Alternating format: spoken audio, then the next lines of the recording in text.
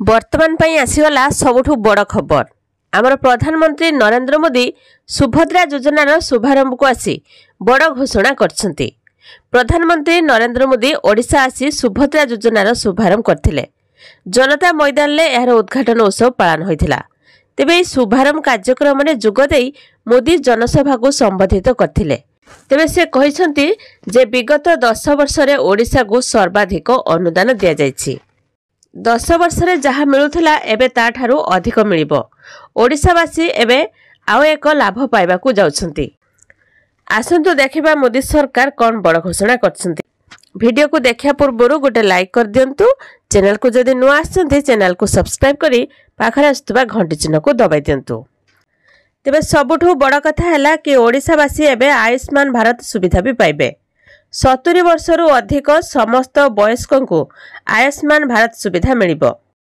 ଏନେଇ ମୋଦି ସରକାର ବଡ଼ ଘୋଷଣା କରିଛନ୍ତି। ପ୍ରଧାନମନ୍ତ୍ରୀ ଆହୁରି କହିଛନ୍ତି ଯେ ଓଡ଼ିଶାର ପ୍ରାକୃତିକ ସମ୍ପଦକୁ ଓଡ଼ିଶାର ସାମର୍ଥ୍ୟ ବନାଇବେ। ପାଞ୍ଚ ବର୍ଷରେ ଓଡ଼ିଶାରେ ରେଳ ଓ ରୋଡ୍କୁ ନୂଆ ସୋପାନ ନିଆଯିବ। ବିଭିନ୍ନ ପ୍ରକଳ୍ପ ଯୋଗୁଁ ଓଡ଼ିଶାର ଯୁବକଙ୍କୁ ରୋଜଗାର ମିଳିବ। ପୁରୀ କୋଣାର୍କକୁ ରେଳ ଚାଲିବା ଆଉ ବେଶୀ ଦୂର ନୁହେଁ। ଆଗାମୀ ଦିନରେ ସମସ୍ତେ କହିବେ ସୁନାର ଓଡ଼ିଶା। ପ୍ରଧାନମନ୍ତ୍ରୀ ନରେନ୍ଦ୍ର ମୋଦି ସୁଭଦ୍ରା ଯୋଜନାର ଶୁଭାରମ୍ଭ କରି ଏନେଇ ବଡ଼ ଘୋଷଣା କରିଛନ୍ତି। ଏହି ସୁଭଦ୍ରା ଯୋଜନାର ଦୁଇ ହଜାର ଆବେଦନ ଖାରଜ ହୋଇଛି। ସୁଭଦ୍ରା ଯୋଜନାକୁ ନେଇ ଉପମୁଖ୍ୟମନ୍ତ୍ରୀ ପ୍ରଭାତୀ ପରିଡ଼ା ଏନେଇ ସୂଚନା ଦେଇଛନ୍ତି। ଗତକାଲି ସୁଦ୍ଧା ସତାନବେ ହଜାର ହିତାଧିକାରୀଙ୍କର ଆବେଦନ ପେଣ୍ଡିଂ ଥିଲା। ତେବେ ଆଜିର ରିପୋର୍ଟ ଅନୁସାରେ ଶତ ପ୍ରତିଶତ ଆବେଦନ କ୍ଲିୟର ହୋଇଯାଇଛି।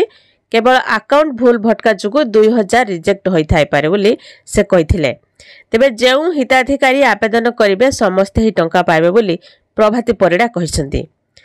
ତେବେ ମୋଦି ଗତକାଲି ପଚିଶ ଲକ୍ଷ ଏଗାର ଜଣ ହିତାଧିକାରୀଙ୍କୁ ବାଣ୍ଟିଛନ୍ତି ସୁଭଦ୍ରା ଯୋଜନାର ପ୍ରଥମ କିସ୍ତି। ଯେଉଁଥିରେ ଖର୍ଚ୍ଚ ହୋଇଛି ବାରଶହ ପଚାଶ କୋଟି ପଞ୍ଚାବନ ହଜାର।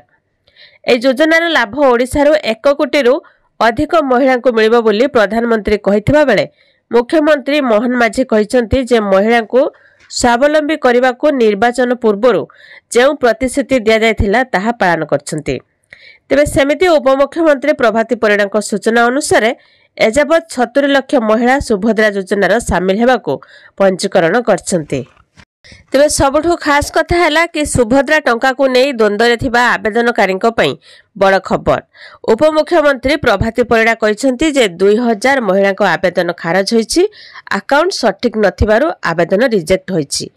ଶତ ପ୍ରତିଶତ ଆବେଦନ କ୍ଲିୟର ହୋଇଛି ଆଉ ପେଣ୍ଡିଂ ନାହିଁ ବୋଲି ଉପମୁଖ୍ୟମନ୍ତ୍ରୀ ପ୍ରଭାତୀ ପରିଡ଼ା ସୂଚନା ଦେଇଛନ୍ତି।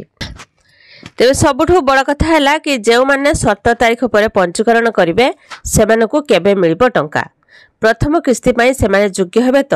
ଦ୍ୱିତୀୟ କିସ୍ତିରେ କାହାକୁ ମିଳିବ ଏହି ଟଙ୍କା? ଏହି ସମସ୍ତ ଦୂର କରିଛନ୍ତି ଉପମୁଖ୍ୟମନ୍ତ୍ରୀ ପ୍ରଭାତୀ ପରିଡ଼ା। ତେବେ ତେବେ ଯେଉଁମାନେ ସତର ତାରିଖ କିମ୍ବା ତାପରେ ବି ଆବେଦନ କରନ୍ତି ସେମାନଙ୍କ ଆକାଉଣ୍ଟକୁ ବି ଏହି ଟଙ୍କା ଆସିବ। ଏନେଇ ସ୍ପଷ୍ଟ କରିଛନ୍ତି ଉପମୁଖ୍ୟମନ୍ତ୍ରୀ ପ୍ରଭାତୀ ପରିଡ଼ା। ତେବେ ସିଧାସଳଖ ମହିଳାଙ୍କ ଆକାଉଣ୍ଟକୁ ଆସିବ ଟଙ୍କା। ଆଉ ଏହି ଯୋଜନାର ଫାଇଦା ଉଠାଇ ପାରିବେ ରାଜ୍ୟର ଲକ୍ଷ ଲକ୍ଷ ମହିଳା।